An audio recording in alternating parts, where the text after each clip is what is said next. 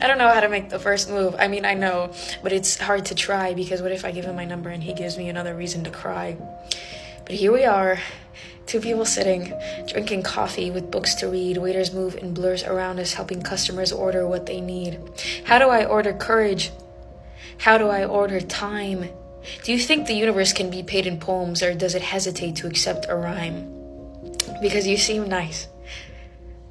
By the way, your hair falls like the type of man that plans a first date, who always texts before he calls, that checks in with his mother, that would tell her about a girl, talking about the way her hair smiled at him with the bounce of a curl. You seem kind. Maybe. With green eyes like blown glass, like the kind of place you want to have a picnic in where time forgets it still needs to pass. Maybe it's the book that you're reading, or your messy dark hair. I'm doing everything I can to look away, but I can't help but stare. Because if magnets were people, you're the most magnetic to ever be. If hard drives were women, I'm sorry. Uh, what was the next line supposed to be?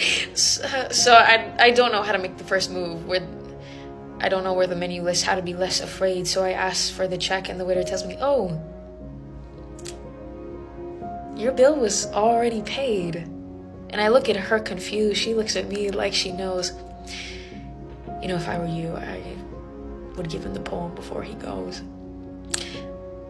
But see, the thing is, the poem was just a thought. So I secretly thank an angel when he comes up to me.